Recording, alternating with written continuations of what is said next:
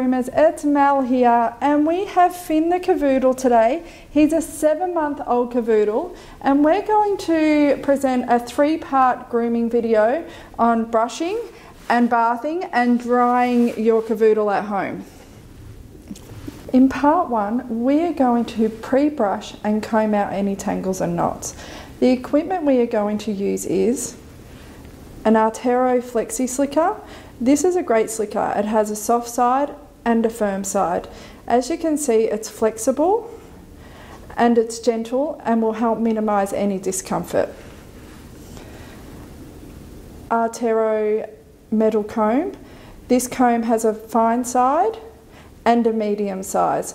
We're going to use a medium size today to help remove any dead coat. A dematting tool. We also have popped a non-slip mat underneath our towel. This will help Finn feel nice and secure and it will stop our towel from sliding around while we're grooming him. We have also another towel for when he comes out of the bath. And of course, his favourite treats, and we're going to reward him when he's been good. As a professional groomer, the most feedback I receive from pet owners is that my dog does not like being brushed. We need to teach our dogs that grooming is a part of day to day life. If your dog is matted or has lots of knots, of course, then they're not going to enjoy being groomed, and the process becomes a negative experience and not a positive one. It's important that we teach our dogs from an early stage to be groomed. Breeders will start the grooming process from about three weeks old, whether it's scissoring the coat around the sanitary areas and including their eyes. It's also important as pet owners that we continue the grooming training as soon as we pick up our puppy. Like training a dog, it's important that we do small amounts of grooming training at a time even five minutes a day to every second day is perfect. And only reward our dog when he or she is showing good behaviour. For example, we would not reward our dog if our dog is biting. Our puppy's coat will change from this soft coat to his adult coat, and it's generally over a two and a half year period. During this time, your dog's coat will change dramatically, and your dog will need lots of brushing and maintenance to remove this dead coat.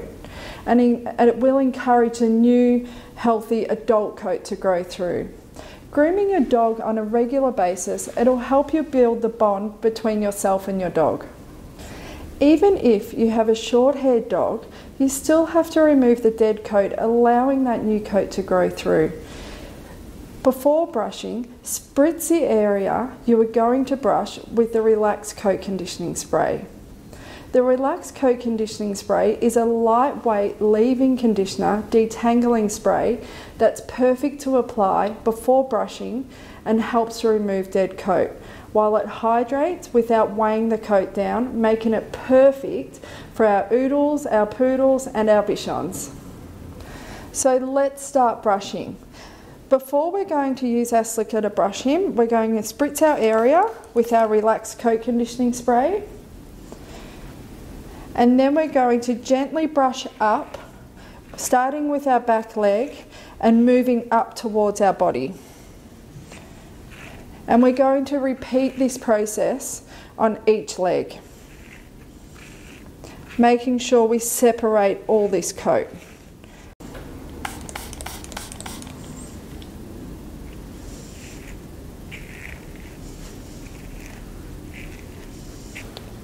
It's so important when we're grooming our dogs that when we're lifting our legs that we're lifting them out straight forward as this is a natural movement of our dogs.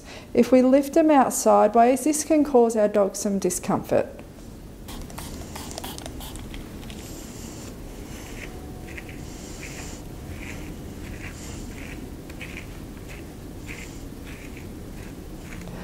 Once we have gone through Finn's entire body with our slicker, we're going to put that down and we're going to pick up our metal comb and we're going to use a medium size so that's where the teeth are further apart and we're just going to repeat that process and making sure all his coat is separated and we have no knots. If we do hit a knot, we're going to remove that comb and then we're going to go through with our slicker. If we do hit a matted area, we can use our dematting tool and gently tease that knot out. This may cause a little bit discomfort, but you need to be very gentle, making sure that the teeth don't hit the skin. Now we're going to start brushing Finn's head. So the easiest way to control our dog's head as we're brushing is to hold a little bit of hair underneath their chin so you can feel which way the dog is going to move. So as we've got our little bit of hair, we're just going to just gently brush with the direction of the coat. And we're just going to do sections at a time, just being extra gentle and his other side. And now we're just going to use the corner of the slicker for his little whiskers, making sure we get all that dead, horrible food out of his little whiskers.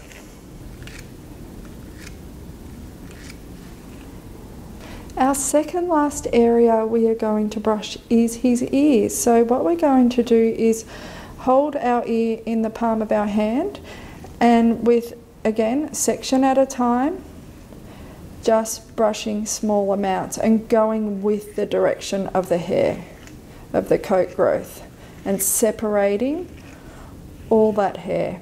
We can even flip his ear around and then gently do the inside.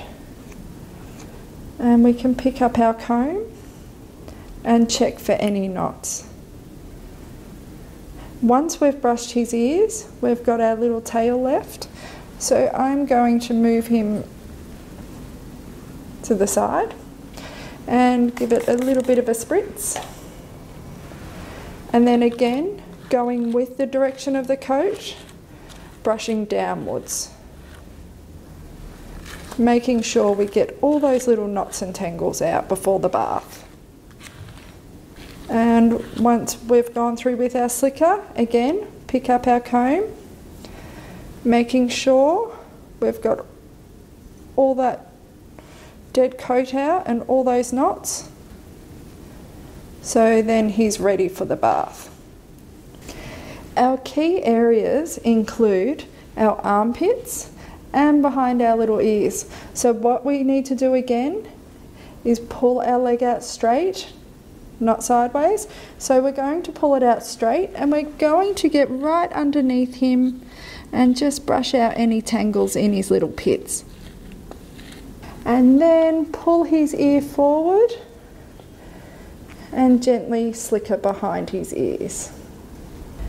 We have gone through Finn with a comb so he has no more tangles or knots. We are going to prepare for our next video which is bathing a cavoodle. If you loved our video please like, comment and subscribe to our channel and happy grooming!